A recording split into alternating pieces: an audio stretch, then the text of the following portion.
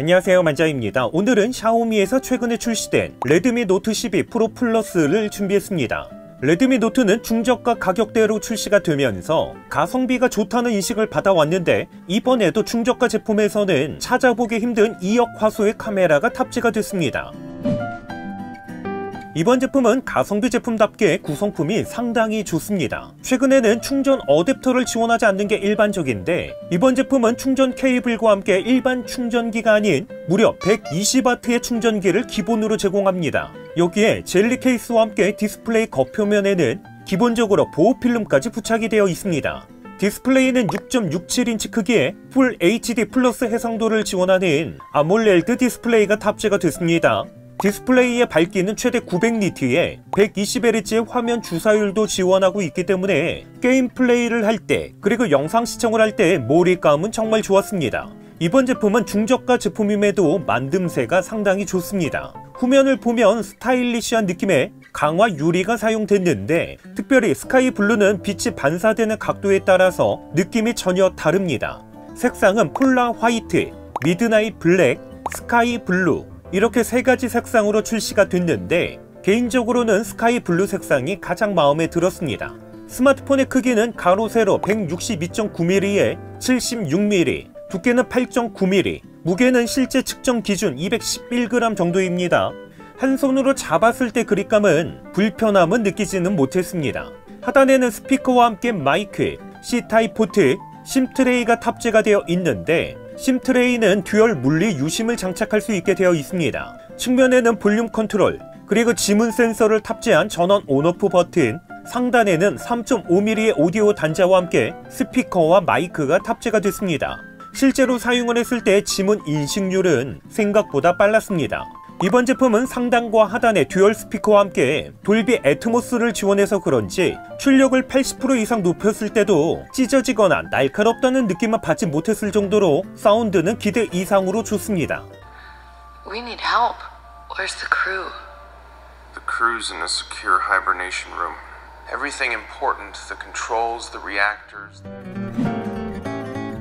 이번 제품은 트리플 카메라가 탑재가 됐는데 중저가 제품으로 출시를 했음에도 2억 화소의 메인 카메라와 800만 화소의 ultra wide 카메라 그리고 200만 화소의 접사 카메라가 탑재가 됐습니다. 당연히 OIS 손떨림 보정 기능도 탑재가 됐습니다. 그리고 전면에는 1600만 화소의 셀피 카메라가 탑재가 됐습니다. 밝은 곳에서 촬영된 사진은 기대 이상으로 괜찮은 화질을 보여주고 있는데 하지만 색감에서는 실제 색감보다 조금 옅게 표현이 되면서 탁한 느낌도 있습니다. 이번에는 저조도 환경에서 촬영을 해봤습니다. 왼쪽은 야간 모드로 촬영한 사진, 오른쪽은 프로 모드에서 auto로 설정하고 촬영한 사진입니다. 이렇게 나란히 놓고 비교해보면 확실히 야간 모드로 촬영한 사진에서는 주변 분위기를 더 잘 살려주면서 촬영됐다는 것을 확인할 수 있습니다. 특별히 저조도 환경에서 촬영된 사진을 보면 노이즈는 생각보다 많이 발생하지는 않았습니다. 대신에 사진을 확대해서 보게 되면 뭉개지는 현상이 조금은 있는데 이 정도면 일상생활에서 촬영할 때는 큰 불편함은 아닌 듯 합니다. 접사 촬영의 경우는 단순히 접사 촬영이 된다는 정도의 성능을 가지고 있는데 실제로 촬영된 결과물을 보면 주변 환경이 밝기보다 대략 두 스텝 정도 더 어둡게 촬영이 됐습니다. 영상 촬영은 최대 4K 30프레임까지 촬영이 가능했는데 사진 촬영과 동일하게 색감에서는 실제 색감보다 옅은 느낌에 조금은 탁한 느낌이 있습니다. 여기서 잠시 SK텔레콤 프로모션에 대해서 간단하게 소개하겠습니다. 샤오미 레드미 노트 12 프로 플러스는 사전 예약 없이 6월 16일에 출시가 됩니다. 특별히 SK텔레콤에서는 샤오미 레드미 노트 12 프로 플러스를 개통하는 모든 분들에게 샤오미 공기청정기 3H를 증정합니다. 프로모션 기간은 출시일로부터 2023년 7월 31일까지 개통하신 모든 분들에게 증정이 된다고 합니다. 이번 제품의 주요 스펙을 보면 프로세서는 미디어텍 디멘시티 1080, 램은 8GB가 탑재가 됐습니다.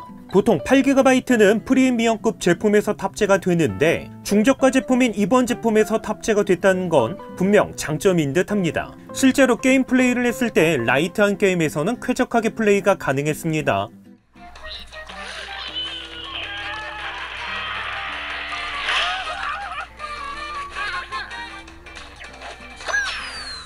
하지만 원신과 같이 높은 사양을 요구하는 게임에서는 그래픽 성능은 낮음 정도로 타협을 해야만 불편함 없이 플레이가 가능했습니다. 만약 그래픽 옵션을 낮음에서 중간으로 변경하면 기계 과부하 표시가 매우 높음으로 표시가 되는데 화면을 좌우로 급격하게 이동할 때 그리고 메뉴 화면으로 전환할 때 중간중간에 끊어지는 듯한 lag 현상이 발생됐습니다. 그래서 이번에는 긱벤치 6를 사용해서 성능 테스트를 진행해 봤습니다. 싱글 코어는 952점, 멀티 코어는 2399점이 나왔습니다. 3D 마크 테스트에서는 종합 2281점, 평균 프레임은 13.70이 나왔습니다. 이번 제품의 스토리지는 256GB로 출시가 됐는데 아쉽게도 외장 메모리 슬롯은 지원되지 않습니다. 배터리의 경우는 5000mAh가 탑재가 됐는데 앞에서도 안내를 했지만 이번 제품은 120W의 초고속 충전기를 기본으로 제공합니다. 비록 무선 충전은 지원되지 않지만 120W의 터보 충전 기능을 지원하기 때문에 스펙상으로 봤을 때는 9분 만에 50% 이상 충전이 가능했습니다. 특별히 메이저 브랜드 제품에서도 25W에서 45W를 지원하는데 중저가 제품에서 120W의 초고속 충전을 지원한다는 건 분명한 장점인 듯 합니다.